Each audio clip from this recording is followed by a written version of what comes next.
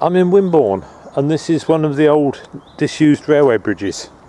I'm going to investigate. Looks like it's been made into a footpath underneath.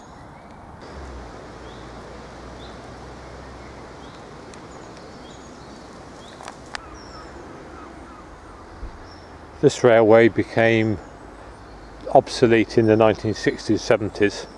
There was a man called Beeching who was commissioned to make the railways lose less money so he shut locked down. And now it's been turned into a nature thing. But you see a lot of this stuff and it's sort of like make work. You wonder you know the men who built this so obviously they earned wages. But an awful lot of money sort of just wasted all over the place all the time. And you think that people could be becoming more who they are or something rather than all this sort of uh, waste of time expenditure. What do I mean becoming who they are? Well, you're born more or less a blank page and you gradually sort of become who you are. Um, if you've got an awful lot of duties that you have to do all the time and you're in harness to somebody else or society or whatever, that can stifle the sort of becoming who you are process. Um, I think you need a lot of time and space to become who you are.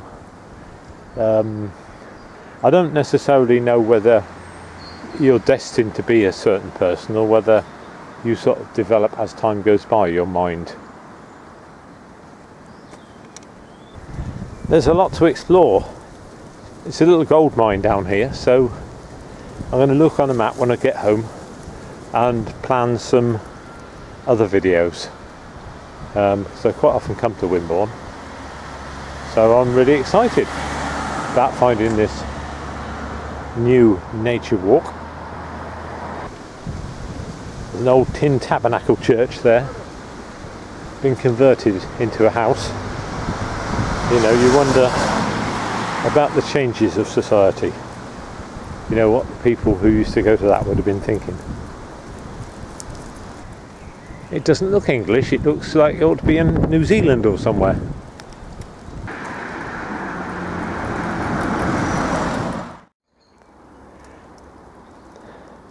It's a really well made bridge.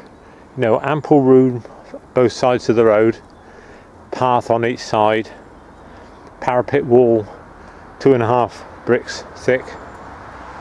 Um, really made to last and yet the railway didn't last very long at all.